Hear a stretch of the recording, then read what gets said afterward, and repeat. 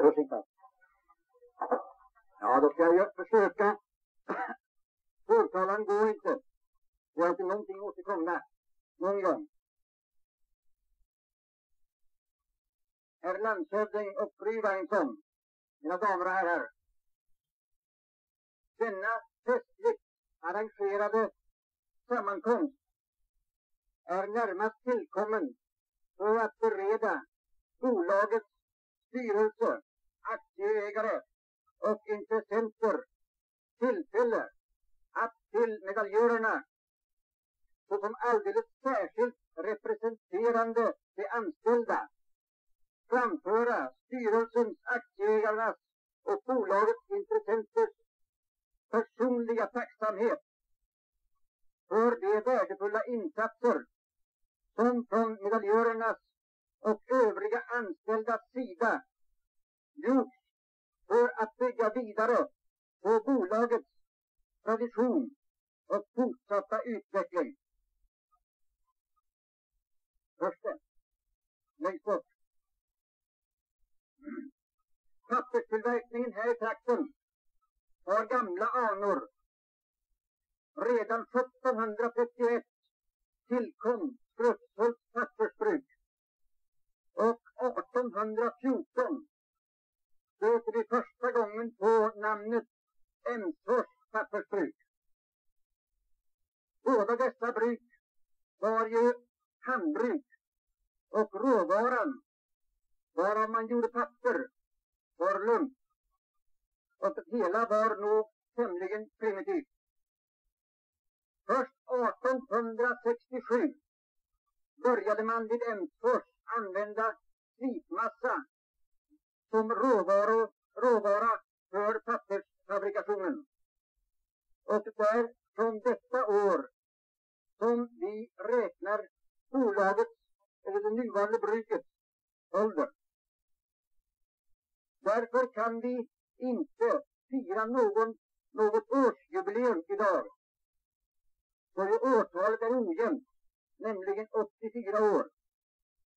Men den tillryggalagda tiden sedan 1867 är ändå fullt tillräcklig för att bruket under denna tid hunnit vara utsatt för mycket varierande konjunkturer med goda lika väl som svåra år.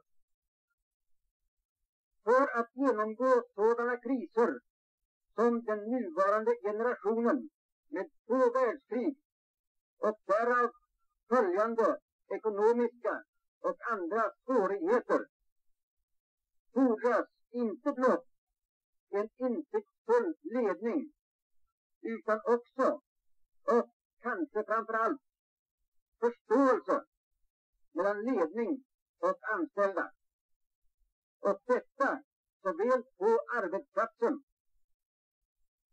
som vid lösandet av de anställdas sociala problem, trivsel, samhörighet och trygghet. Det är min övertygelse att i samma mån som man kan sätta de anställda in i de förhållanden av vilka från tid till annan bolagets rörelse är beroende och de problem ledningen har att kämpa. De till stor del skenbara motsättningarna mellan arbetsgivare och arbetstagare komma att minskas och banden som förenar de anställda med bolaget komma att stärkas.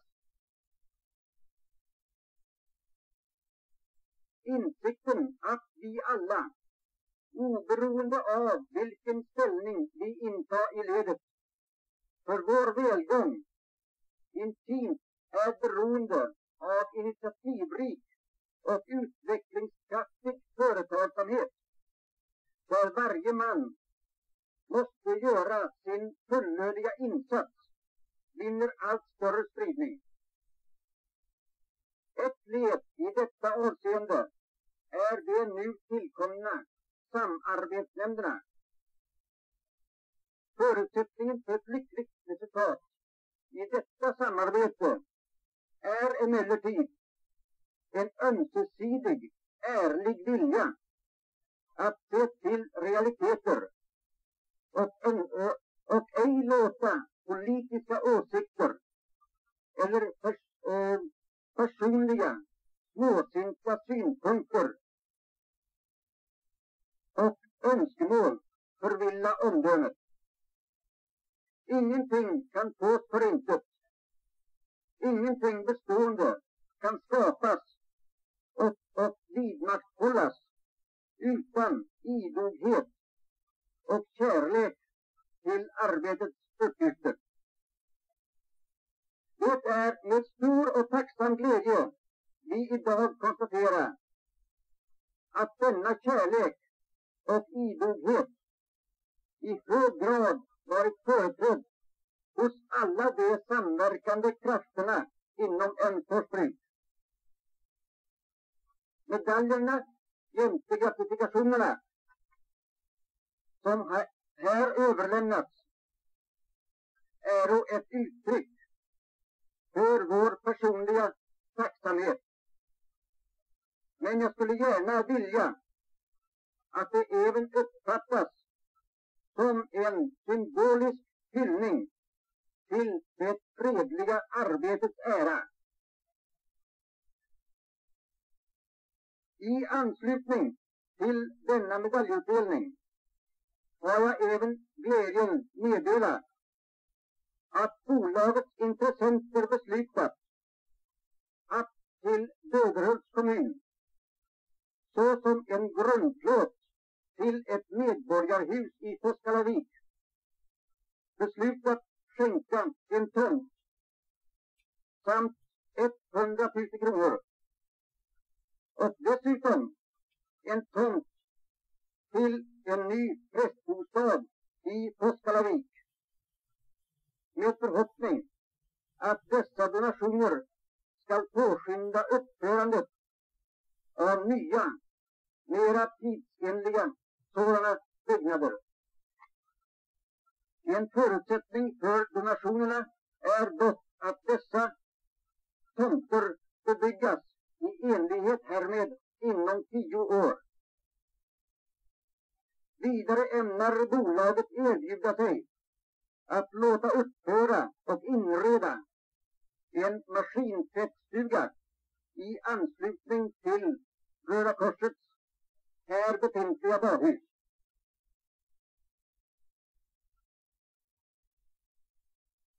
Jag vill sluta med att ännu en gång uttrycka styrelsens och aktieägarnas tacksamhet till alla pensionärer och anställda för den trofasta tjänsten och den beredvilliga arbetsinsatsen samt uttrycka förhoppningen att det må förunnas oss att allt framgent gemensamt fullfölja vår strävan att vidare utveckla företaget till gagn för dess anställda, dess ägare och för vår folkförsörjning. Så till slut föreslår jag att vi alla höjer ett fyrfaldigt leve för medaljörerna. ett fyrkantigt leve för miljonerna. Lev det!